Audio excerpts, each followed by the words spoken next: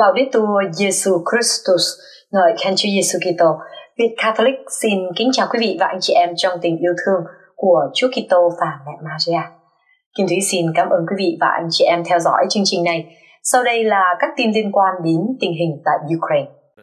Tổng thống Ukraine Volodymyr Zelensky xác nhận Nga phát động phản công ở Kursk. Hôm thứ Sáu 13 tháng 9, Tổng thống Ukraine Volodymyr Zelensky đã xác nhận rằng lực lượng của Mạc Tư Khoa đã phát động một cuộc phản công ở khu vực Kursk. Cuộc tấn công bất ngờ qua biên giới của Kyiv và Kursk đã mang lại một tháng thư giãn tương đối cho quân đội Ukraine, mệt mỏi vì chiến đấu ở mặt trận phía Nam.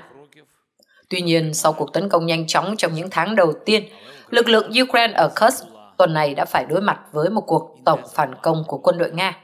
Hôm thứ Năm 12 tháng 9, Bộ Quốc phòng Nga cho biết lực lượng của họ đã tấn công Ukraine ở khu vực phía Tây Bắc của làng Korenovo và tiến vào Snagorsk. Viện Nghiên cứu Chiến tranh Hoa Kỳ gọi tắt là ISW, một nhóm chuyên gia tư vấn có trụ sở tại Hoa Kỳ, đã xác nhận bước đột phá này, đồng thời nói thêm rằng lực lượng Nga có thể đã chiếm lại được Snagorsk.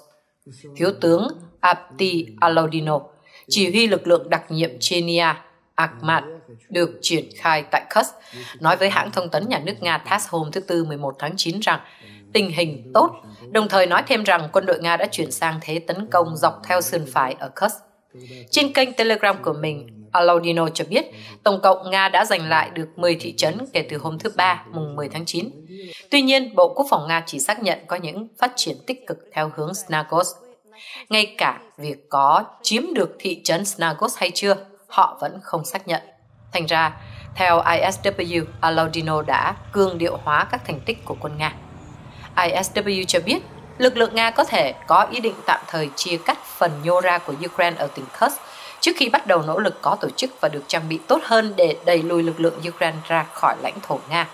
Nhưng Vadim Mesny, phát ngôn viên của Bộ Tư lệnh Quân đội Ukraine Sivers, chịu trách nhiệm về chiến dịch Kursk đã từ chối xác nhận hoặc phủ nhận một bước đột phá.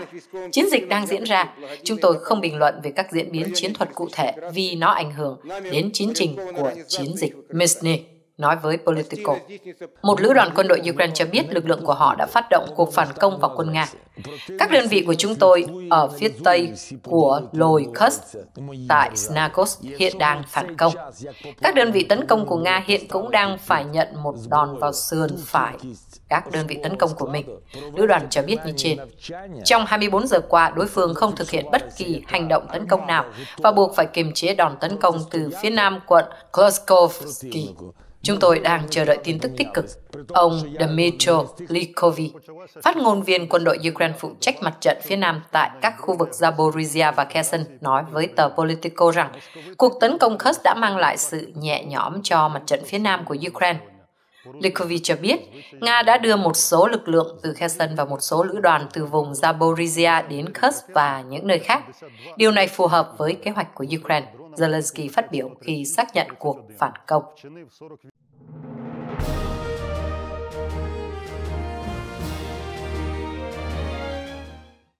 Putin đe dọa thế chiến khi các đồng minh phương Tây sắp đạt được thỏa thuận về các cuộc tấn công bằng hỏa tiễn vào Nga. Anh và Hoa Kỳ đang chuẩn bị vượt qua bước ngoặt quan trọng trong cuộc chiến tranh Ukraine vào hôm thứ Sáu 13 tháng 9. Trong hội nghị thượng đỉnh tại Tòa Bạch Ốc, nơi họ sẽ thảo luận về kế hoạch cho phép Kyiv tấn công các mục tiêu bên trong nước Nga bằng hỏa tiễn do phương Tây cung cấp. Trong nỗ lực cuối cùng nhằm ngăn chặn diễn biến này, Putin đã cảnh báo vào sáng thứ Sáu, 13 tháng 9, trong một cuộc phỏng vấn cấp tốc với thông tấn xã nhà nước TASS rằng ông sẽ coi một thỏa thuận như vậy tương đương với việc NATO trực tiếp tham chiến. Điều này có nghĩa là các nước NATO, Hoa Kỳ và các nước Âu Châu đang chiến đấu với Nga. Thế chiến thứ ba là không tránh khỏi. Ông nói, Mối đe dọa này xuất hiện trong khi Thủ tướng Anh Keir Starmer vẫn đang trên đường đến Washington trước cuộc hội đàm vào hôm thứ Sáu với Tổng thống Joe Biden về khả năng Ukraine sử dụng hỏa tiễn hành trình Storm Shadow do Anh sản xuất trên lãnh thổ Nga. Nga đã bắt đầu cuộc xung đột này. Starmer trả lời các nhà báo, Nga đã xâm lược Ukraine một cách bất hợp pháp. Nga có thể chấm dứt cuộc xung đột này ngay lập tức.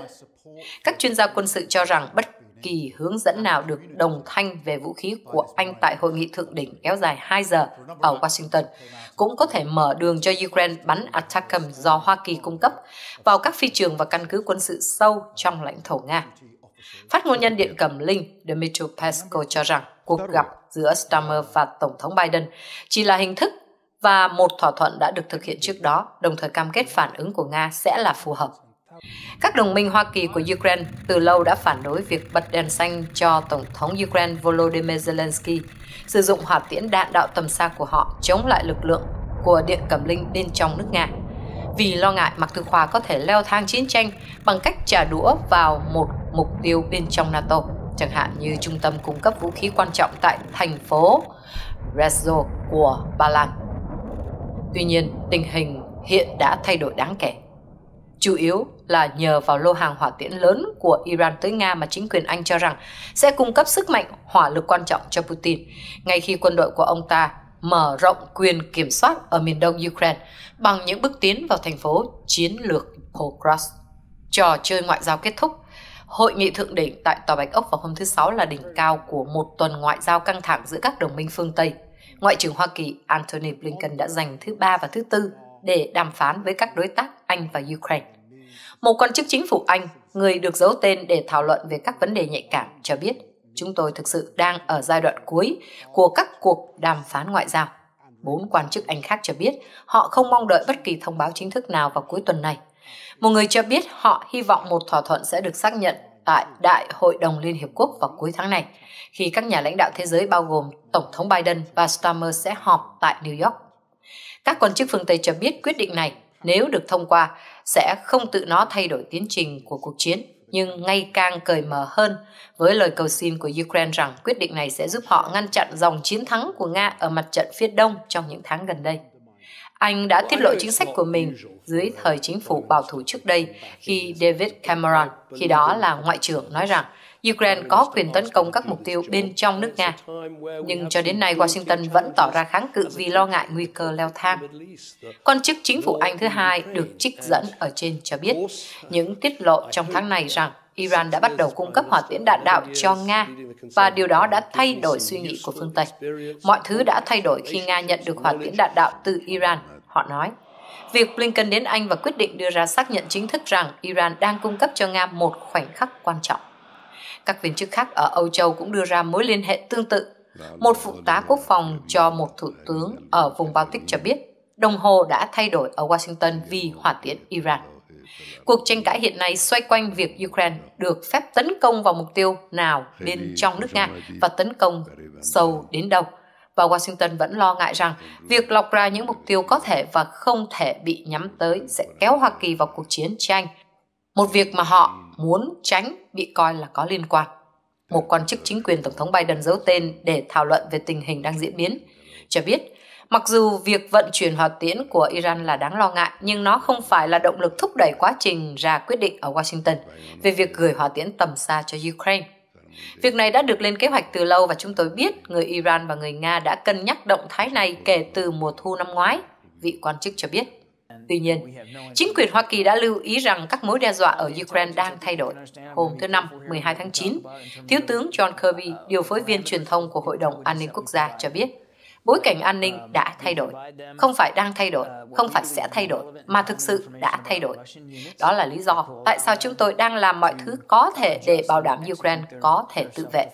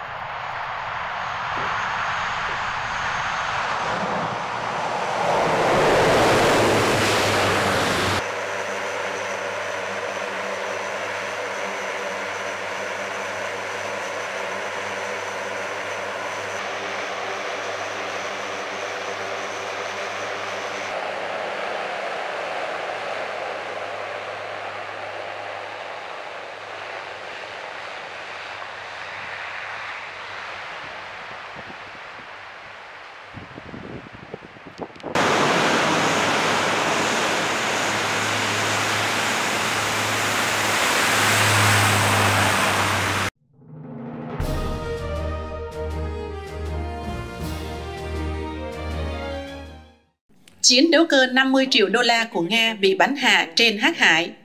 Trong cuộc họp báo tại Trung tâm Báo chí Kyiv chiều thứ Năm, 12 tháng 9, phát ngôn nhân Bộ Quốc phòng Ukraine, chuẩn tướng Oleksiy Haromov cho biết, một trong những máy bay tiên tiến nhất của Nga đã bị bắn hạ trên Hắc Hải.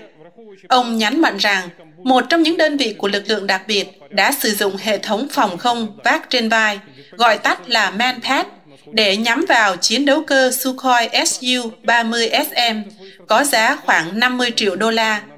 Theo chuẩn tướng Oleksiy Hromov, máy bay phản lực này thuộc Trung đoàn Không quân Hải quân biệt lập số 43 của Không quân Nga, đóng tại phi trường Saki ở Crimea bị tạm chiếm.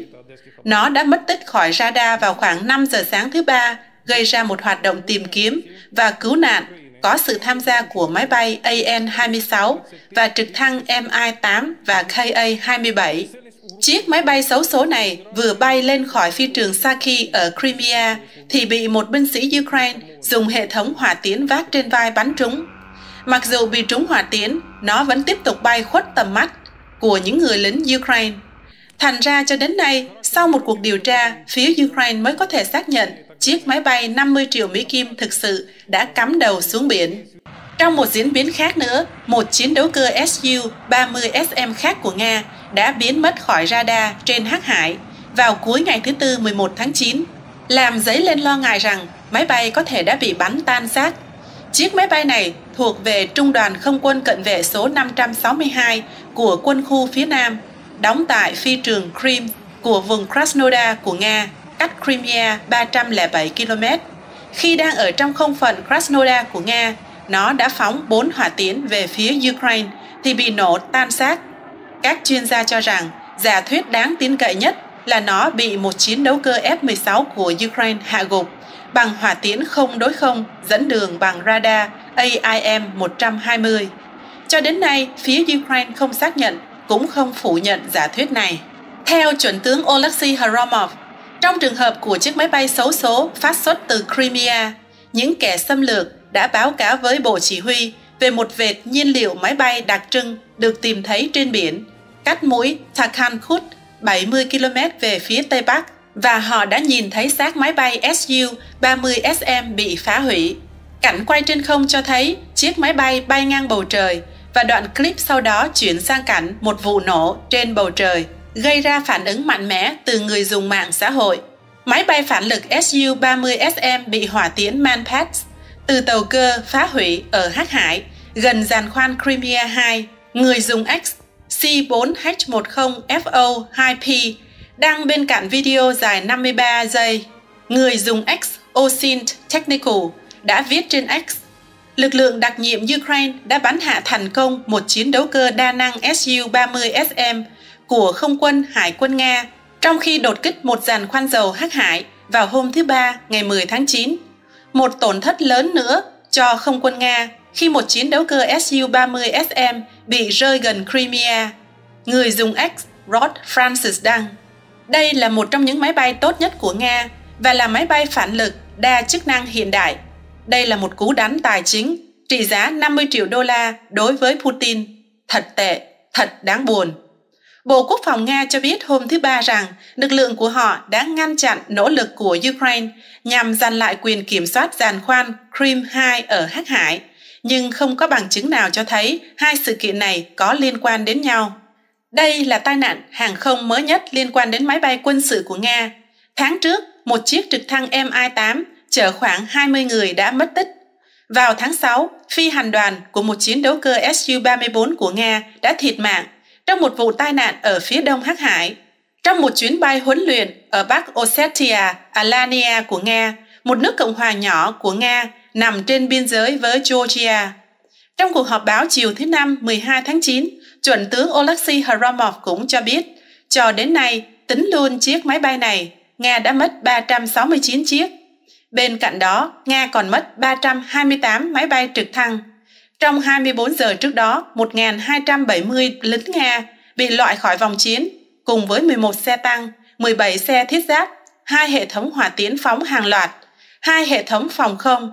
Đặc biệt nghiêm trọng, Nga đã mất 73 hệ thống pháo và 93 xe chuyển quân và nhiên liệu.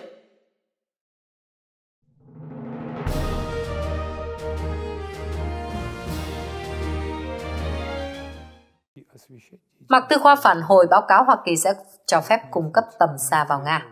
Điện Cẩm Linh cho biết, phương Tây có thể đã quyết định cho phép Ukraine tiến hành các cuộc tấn công tầm xa trong lãnh thổ Nga, đồng thời nói thêm rằng Mạc Tư Khoa sẽ có phản ứng thích hợp nếu điều đó xảy ra. Ukraine từ lâu đã gây sức ép với Hoa Kỳ và Anh nhằm dỡ bỏ lệnh hạn chế sử dụng vũ khí tầm xa để tấn công bên trong nước Nga vì lo ngại điều này sẽ làm leo thang chiến tranh.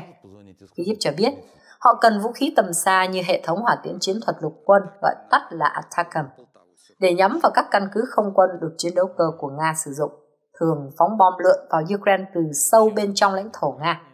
Hỏa tiễn Storm Shadow do Anh cung cấp có tầm bắn khoảng 240 km, chỉ được sử dụng để tấn công các mục tiêu của Nga trên lãnh thổ Ukraine bị tạm chiếm. Khi được hỏi, liệu Washington có dỡ bỏ các hạn chế hay không? Tổng thống Joe Biden cho biết hôm thứ Ba rằng chính quyền của ông đang giải quyết vấn đề đó ngay bây giờ. Tuy nhiên, phát ngôn nhân Điện Cẩm Linh Dmitry Peskov hôm thứ Tư cho biết nhiều khả năng tất cả những quyết định này đã được phương Tây đưa ra liên quan đến việc bãi bỏ lệnh cấm vũ khí tầm xa, hãng thông tấn nhà nước TASS đưa tin. Điều này có thể được giả định với xác suất cao, Peskov nói với truyền thông Nga. Hiện tại, truyền thông chỉ đang tiến hành một chiến dịch thông tin như vậy để chính thức hóa quyết định đã được đưa ra. Ông nói thêm, Pesco nhận định rằng các chính phủ Hoa Kỳ và Âu Châu đang nỗ lực để tránh xa sự tham gia vào cuộc xung đột này. Nhưng sự tham gia của Hoa Kỳ và Âu Châu vào Ukraine đang trở nên trực tiếp hơn. Pesco cho biết nếu Ukraine được phép sử dụng vũ khí để tấn công sâu vào lãnh thổ Nga, Moscow sẽ đưa ra một phản ứng thích hợp. Mặc dù ông nói thêm rằng không cần phải mong đợi bất kỳ phản ứng nào ở khắp mọi nơi. David Silby, chuyên gia quân sự và giáo sư lịch sử tại Đại học Cornell cho biết tranh chấp về việc cho phép Kyiv sử dụng vũ khí tầm xa phản ánh những căng thẳng trong mối quan hệ Hoa Kỳ-Ukraine trong chiến tranh. Ông nói với Newsweek rằng Hoa Kỳ đã dần cho phép các cuộc tấn công ngày càng sâu hơn vào các mục tiêu của Nga, đặc biệt là khi Ukraine tiến hành một chiến dịch trên bộ bên trong lãnh thổ nước Nga. Người Nga đã phản ứng bằng cách thay đổi chiến thuật, đáng chú ý nhất là bắn vũ khí từ bên ngoài không phận Ukraine như hỏa tiễn đạn đạo tầm ngắn và bom lượn và hiện tại Ukraine đang thúc đẩy một sự thay đổi khác trong giới hạn của Hoa Kỳ.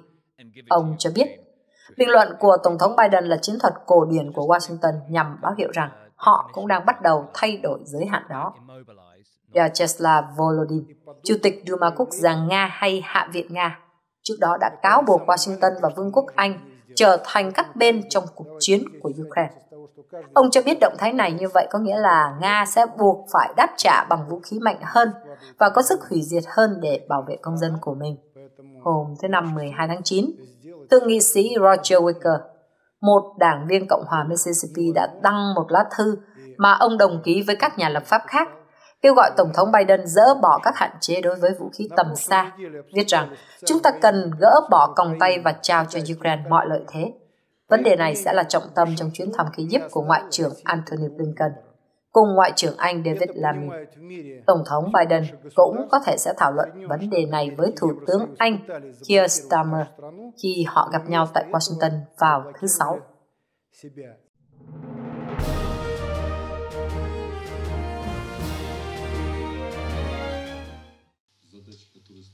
Ukraine phá hoại tuyến hỏa xa Belgorod, làm trật đường ray tàu chở hàng.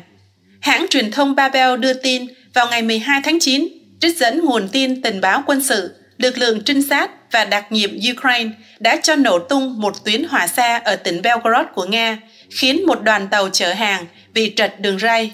Một ngày trước đó, chính quyền Nga tuyên bố rằng một đầu máy xe lửa đi dù và 11 toa tàu chở hàng đã trật đường ray tại nhịp cầu Novi Osko Volokhonovka. Ủy ban điều tra Nga mô tả vụ việc là một cuộc tấn công khủng bố và mở một vụ án hình sự. Nguồn tin của Babel xác nhận vụ trật đường ray xe lửa và cho biết vụ việc này nhằm phá hoại việc đáp ứng nhu cầu hậu cần của quân xâm lược Nga.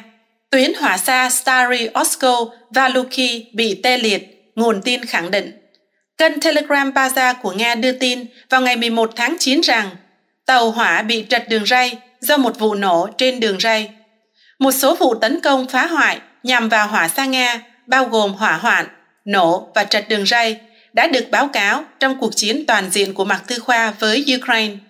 Cơ quan tình báo quân sự Ukraine tuyên bố vào tháng riêng rằng Một số tuyến hỏa xa ở Nga đã bị những đối phương không rõ danh tính của chế độ Putin nhắm tới. Cơ quan này không nói liệu họ có liên quan đến các cuộc tấn công phá hoại hay không, nhưng cho biết những hành động này sẽ làm gián đoạn hoạt động hậu cần quân sự của Nga.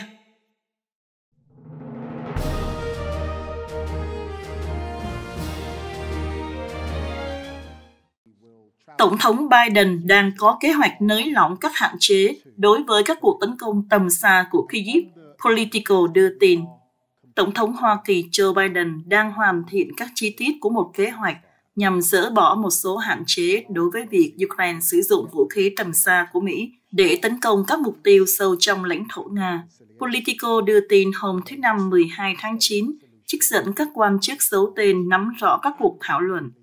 Một quan chức nói với Politico rằng một nhóm nhỏ các quan chức tòa bạch ốc đã tổ chức các cuộc đàm phán về việc mở rộng khu vực trong lãnh thổ Nga mà Ukraine có thể tấn công bằng vũ khí do Hoa Kỳ cung cấp.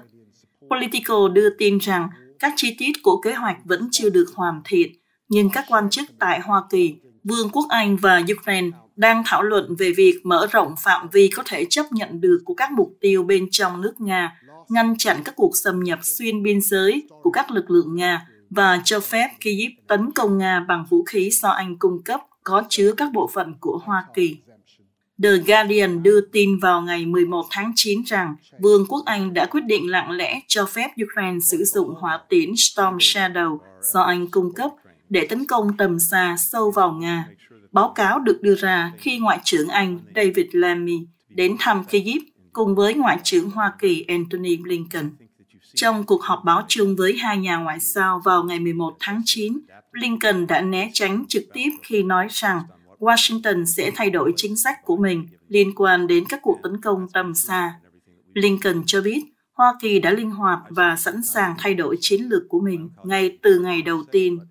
Tổng thống Biden dự kiến sẽ thảo luận về vấn đề vũ khí tầm xa với Thủ tướng Anh Keir Starmer trong cuộc họp của họ tại Tòa Bạch Ốc vào ngày 13 tháng 9, một quan chức nói với Politico, Kyiv từ lâu đã lập luận rằng các hạn chế đối với việc sử dụng vũ khí tầm xa đang cản trở khả năng bảo vệ các thành phố của Ukraine khỏi các cuộc tấn công trên không ngày càng gia tăng.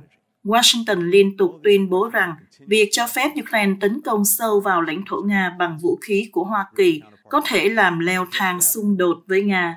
Cả Blinken và Lamy đều nói vào ngày 11 tháng 9 rằng Nga đã leo thang chiến tranh không chỉ bằng cách tiếp tục tiến hành các cuộc tấn công hàng loạt vào Ukraine, mà còn bằng cách chấp nhận các lô hàng hỏa tiễn đạn đạo từ Iran. Các cuộc đàm phán về việc nới lỏng các hạn chế của Hoa Kỳ được cho là đã bắt đầu sau khi Bộ trưởng Quốc phòng Rostem Umerov đến thăm Washington vào ngày 30 tháng 8 và trình lên các quan chức cao cấp danh sách các mục tiêu có giá trị cao ở Nga mà Ukraine muốn tấn công bằng hệ thống hỏa tiễn chiến thuật lục quân, gọi tắt là ATACMS.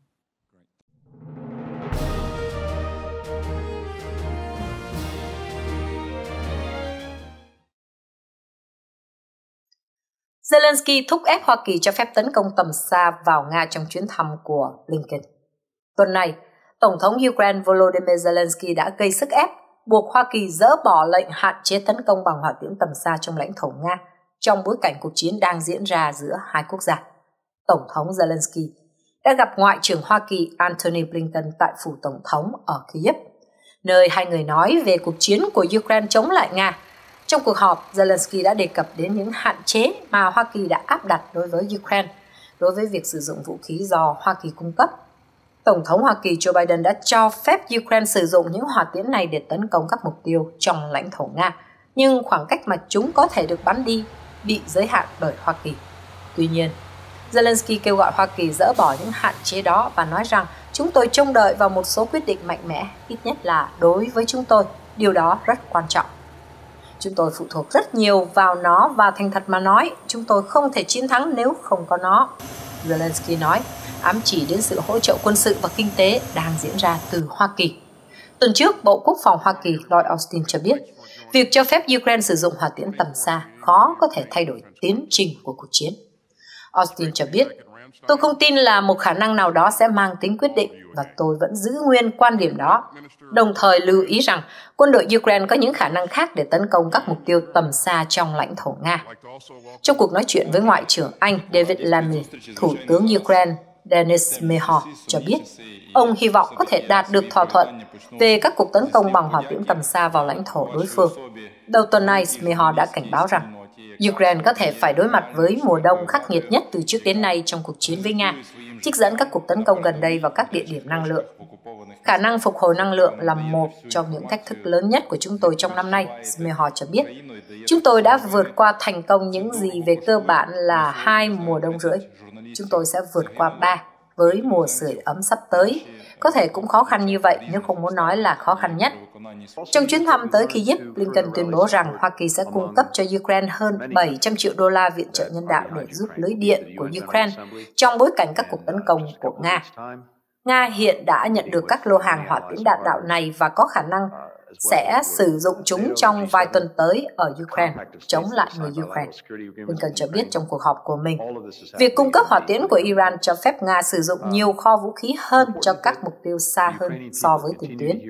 Chỉ vài ngày trước khi lô đầu tiên gồm 200 hỏa tiễn Faith 360 cuối cùng đã đến Nga qua biển Kaspi vào ngày 4 tháng 9, phái đoàn Iran tại Liên Hiệp Quốc đã phản bác những tuyên bố này và nói rằng lập trường của Iran liên quan đến xung đột Ukraine vẫn không thay đổi.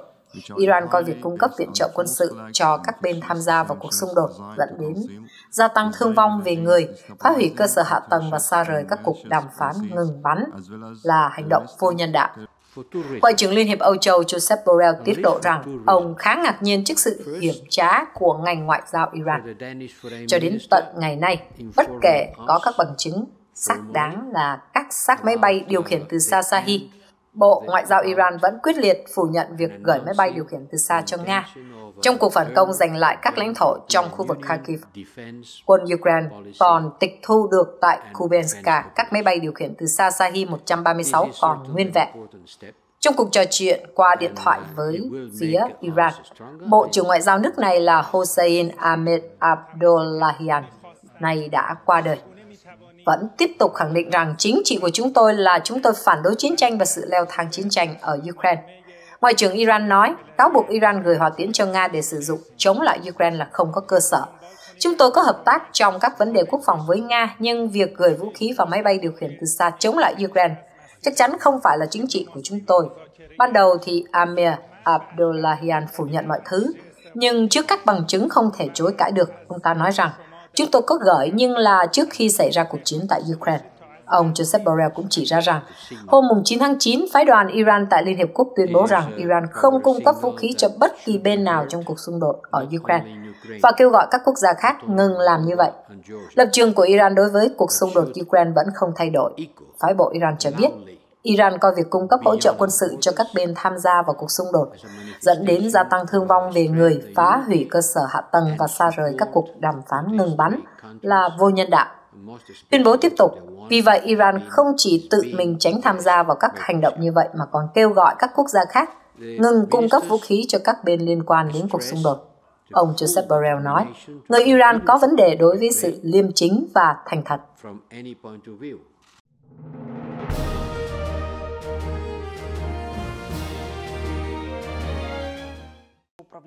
Cuộc tấn công của Nga vào Konotop làm 14 người bị thương, thiệt hại nặng nề cho cơ sở hạ tầng năng lượng. Trong cuộc họp báo tại Trung tâm Báo chí Kyiv chiều thứ Năm 12 tháng 9, phát ngôn nhân Cảnh sát quốc gia Ukraine, Đại úy Aliola Liusliska cho biết, Nga đã tấn công thành phố Konotop ở tỉnh Sumy vào rạng sáng ngày 12 tháng 9, khiến dân thường bị thương, phá hủy trường học và làm gián đoạn nguồn cung cấp điện và nước Chính quyền địa phương báo cáo có 14 người bị thương, hậu quả của vụ tấn công vẫn đang được điều tra. Chính quyền khu vực cho biết Nga đã tiến hành một cuộc tấn công bằng máy bay điều khiển từ xa quy mô lớn vào các cơ sở hạ tầng năng lượng và dân sự ở Konotop. Cô cho biết thêm, hai thường dân bị thương đã được đưa vào bệnh viện sau vụ tấn công, một nạn nhân đang hôn mê. Liut Liska báo cáo rằng Cuộc tấn công đã gây thiệt hại nặng nề cho cơ sở hạ tầng năng lượng của thành phố và tình hình cung cấp điện vẫn nguy kịch. Cô cho biết các kỹ sư đang làm việc để khôi phục điện cho các cơ sở y tế và nước, nhưng vẫn chưa chắc chắn khi nào điện dân dụng sẽ được khôi phục. Cuộc tấn công vào trung tâm thành phố gây ra hỏa hoạn, mất điện và thiệt hại về cơ sở hạ tầng. Cô cho biết các cơ sở giáo dục và tòa nhà dân cư đã bị tấn công. Hiện chính quyền địa phương đang triển khai các nguồn điện dự phòng để cung cấp nước cho mạng lưới vì không có đủ nước để dập tắt đám cháy. Cô cũng cảnh báo người dân rằng việc di chuyển bằng xe điện sẽ bị hạn chế vì cuộc tấn công đã phá hủy một đoạn đường ray xe điện của thành phố. Trước đây, Nga đã từng tấn công vào cơ sở hạ tầng năng lượng ở Konotop bằng các cuộc tấn công hỏa tiễn. Tỉnh Sumy nằm trên biên giới đông bắc của Ukraine với Nga và thường xuyên bị tấn công. Theo chính quyền địa phương, khoảng 21.000 cư dân đã được di tản khỏi khu vực này, trong đó có 5.000 trẻ em.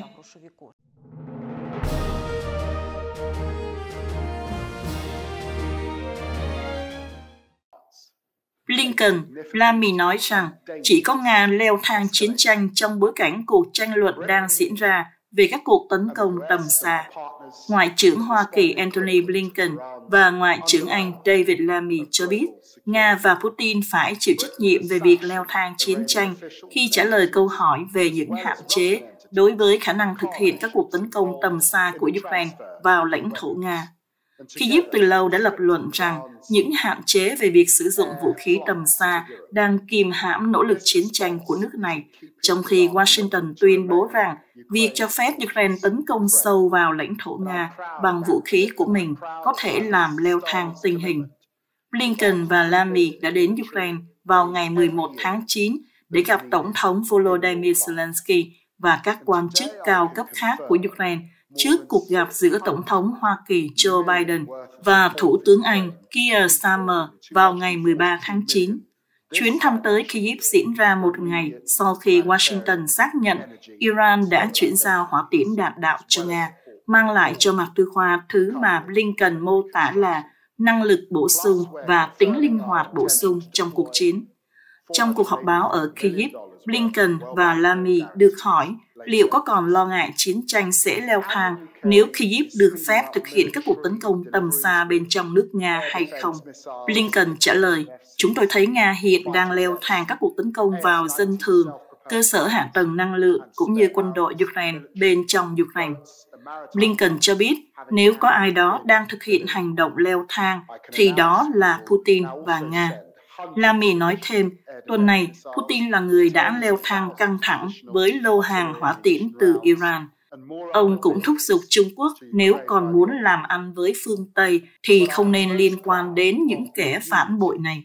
Cụm từ những kẻ phản bội được dùng để ám chỉ Iran. Những người bị Liên hiệp Âu Châu lên ám là phản bội những lời hứa của họ không viện trợ vũ khí cho Nga.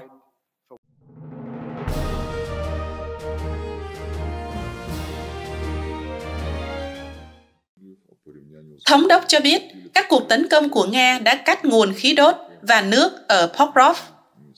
Thống đốc Vadim Filashkin cho biết vào ngày 12 tháng 9 rằng, các cuộc tấn công của Nga đã cắt đứt nguồn cung cấp khí đốt và nước tại thị trấn Pokrov thuộc tỉnh Donetsk. Mặt trận phía đông gần Pokrov là nơi diễn ra giao tranh ác liệt trong nhiều tháng và là trọng tâm của cuộc tấn công của Nga vào tỉnh Donetsk. Thành phố này là trung tâm hậu cần quan trọng của lực lượng Ukraine. Chính quyền Pokrov đã kêu gọi người dân di tản vào ngày 15 tháng 8 sau khi lực lượng Nga tiến đến cách ngoại ô thị trấn khoảng 10 km. Một trạm lọc module cung cấp nước cho Pokrov đã ngừng hoạt động do giao tranh đang diễn ra trong khu vực. Hiện tại, nguồn cung cấp nước không thể tiếp tục hoạt động. Chúng tôi đang nỗ lực giải quyết vấn đề này, Filashkin cho biết. Theo thống đốc, nước uống đã được cung cấp cho người dân và hơn 300 giếng đã được khoan tại cộng đồng Pokrov. Một ngày trước đó, Filashkin cho biết quân đội Nga đã phá hủy một trạm xăng cung cấp khí đốt cho Pokrov.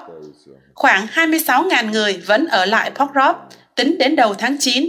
Thị trấn này có dân số khoảng 60.000 người vào tháng Giêng năm 2022. Khi tình hình an ninh xấu đi, nhà ga xe lửa Pokrov đã đóng cửa. Các cuộc di tản hiện khởi hành từ nhà ga xe lửa Pavlorad thuộc tỉnh Dnipropetrovsk, một thành phố cách Pokrov 100 km về phía Tây.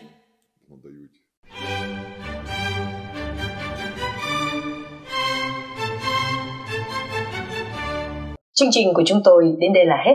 Xin quý vị và anh chị em thêm lời cầu nguyện cho anh chị em Ukraine đang trải qua những giờ khắc thử thách và khó khăn và xin cầu nguyện cho linh hồn những người của cả hai bên đã thiệt mạng trong cuộc chiến.